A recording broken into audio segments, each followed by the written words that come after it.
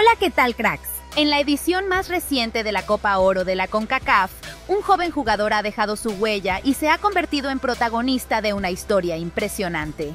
Santi Jiménez, figura de la selección mexicana, con tan solo 22 años, se ha convertido en el jugador más joven en marcar un gol ganador en una final de Copa Oro, superando el récord que ostentaba Benny Feilhaber desde la final de 2007, cuando anotó a los 22 años.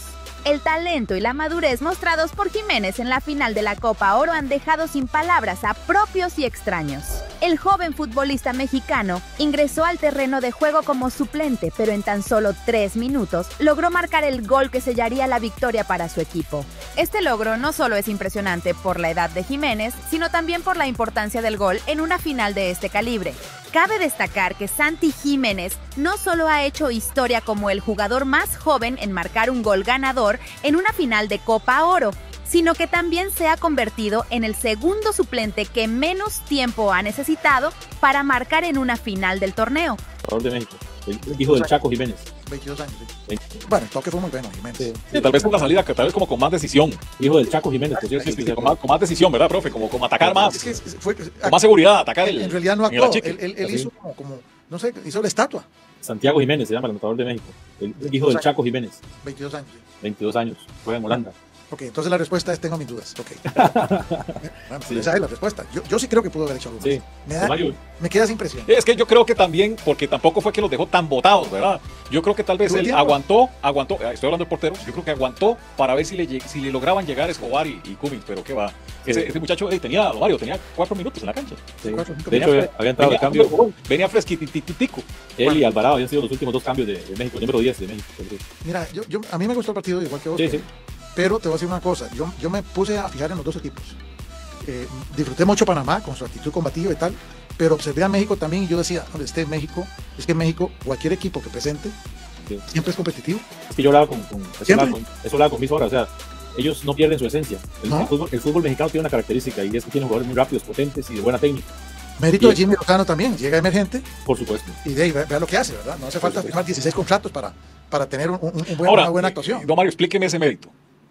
El mérito es que llegó, eh, primero es un exjugador, Ok, eh, apreciado por los jugadores. entonces es más, es más mérito de la federación. El, el mérito de la federación, claro. Nombra. Pero, pero, ok, ahora, eso es el mérito de la federación de elegir a alguien que Sí. tiene criterio y, conoce. Sí, porque Conoce. eh, conoce, exacta, domina todo el entorno. Ok, hacia afuera y hacia adentro. Conoce a los jugadores al 100%. Y los jugadores tienen, como se lo expresaron en la primera, en la primera reunión, me acuerdo porque yo vi el video, cuando lo presentaron a él, eh, Guillermo Ochoa y varios jugadores se pararon y decirle, y le aplaudieron y le expresaron el compromiso personal y con él o hacia él de que le iban a poner.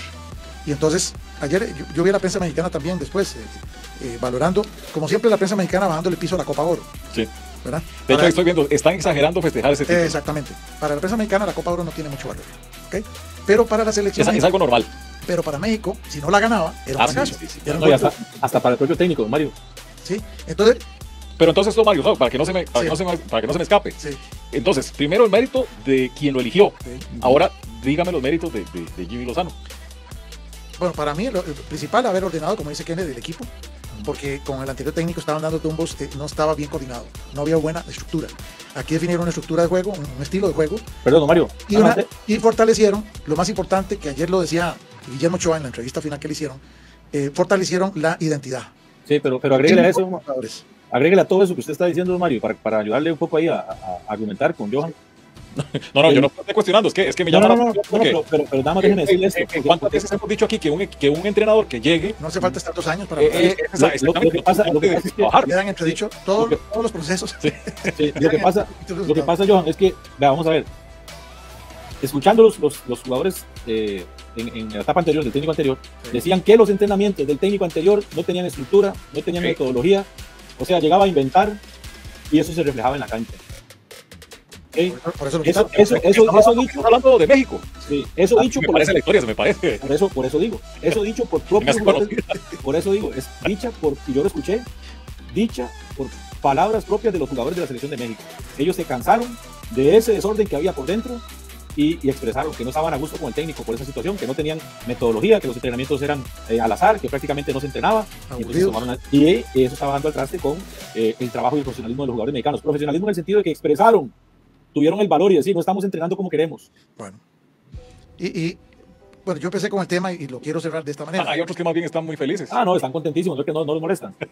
Eh, y aún así, aún así en este momento no hay ninguna certeza de que Jimmy Lozano se. Sí, sí, No, está bien. no, No. Aún más, yo creo que no va a seguir. Es más, ¿sabe qué hizo la familia de, de- de Jimmy Lozano para poder asistir, oiga esto, Sí. a ver los últimos juegos de la, de la Copa de Oro? Sí. Se, fueron, se fueron en carro desde México. O sea, ni siquiera, ni siquiera les dieron un boleto de avión. Ok. Eh, profe, cerrando el tema, eh, porque, bueno, deja muchas aristas incluso para reflexión nuestra, pero yo planteé el tema inicialmente y ahora lo cierro de esta manera. A mí, a mí me parece que México hizo el mejor partido de la Copa Oro ayer, Correcto. en la hora buena. Eh, estuvieron más cerca del gol que Panamá, por más que los panameños le pusieron ganas y buen fútbol, porque a mí me gustó mucho Panamá, igual que a vos. Pero, pero el partido de México ayer fue muy, fue un partido muy correcto. Y tiene, y tiene mucho mérito México porque México le ganó a la mejor selección del torneo. Eh, además, tenés razón. Así, y la final como tal fue bonita, fue, Sí, fue de buen nivel. Fue de buen es, que, es que cuando usted veía, por ejemplo, a, a, Davis, a Carrasquilla, a Quintero y a toda la selección, es que no se puede decir uno solo porque fueron todos. Profe, Jugaron, compara- jugaron comparando, aunque las comparaciones son odiosas, muchos dicen, pero aquí es inevitable. Yo no veo, no vi, ni veo al fútbol de Costa Rica No, no. eh, compitiendo como compitieron México y Panamá ayer. Sí, sí, sí. En este Pero- momento, ¿verdad? Mario, es que el partido tuvo, por ejemplo, lo que hablamos de la esencia de los mexicanos, Sí. Transiciones rápidas, juego Sí. por los costados. Sí. Y oiga, y Panamá no se achicó. Panamá le jugó de tú a tú. O sea, Sí. también lo atacó, por momentos se echó atrás, por momentos hizo bloque intermedio, por momentos hizo bloque profundo, ¿verdad? Y, y usted ve. Y como estructura. resultado, exacto, la estructura, sí. Como resultado de todo esto, el ranking de FIFA Claro. ya, ya está disponible. Y Y lo rematar. los titulares para rematar, ¿verdad? Costa Rica pierde el dominio en Centroamérica que tenía desde hace nueve años. Ojo, desde hace nueve años nosotros estábamos debajo siempre de México, ¿verdad? No, no, eh, eh, eh, todavía no está publicado. Esta es la. la Esa es la, el avance siempre hace. Sí, Es que no, lo mandó antes. sí, sí, Eh, tener razón, mañana es que sale sí, sí, sí. el ranking de FIFA. Pero viene es el spoiler de Mr. Chip. Entonces, Costa, sí.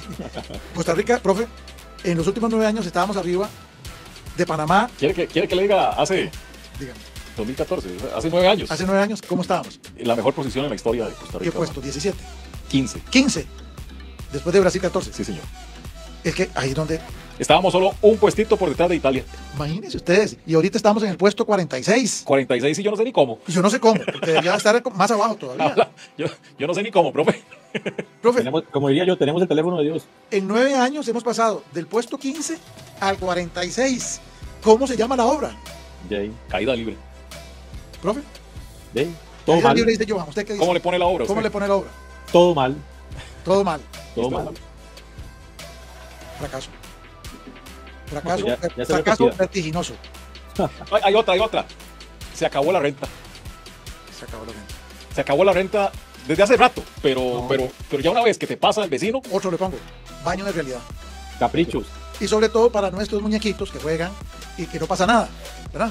Y Sí, que no se les puede decir nada. y que no se les puede decir nada porque todo fue maravilloso. no porque, por ¿Verdad? ejemplo, eh, Martinica es un gran equipo, ¿verdad? No, no, porque eh, el, el técnico es maravilloso lo- y, y las experiencias son maravillosas y todo es precioso en el ambiente de la tele, ¿verdad? Están contentos. Están contentos, no ha pasado nada. ¿Para qué se preocupa esa prensa amarillista que anda vociferando por cualquier cosa? O como me dijo un día, como me dijo un día su- un jugador,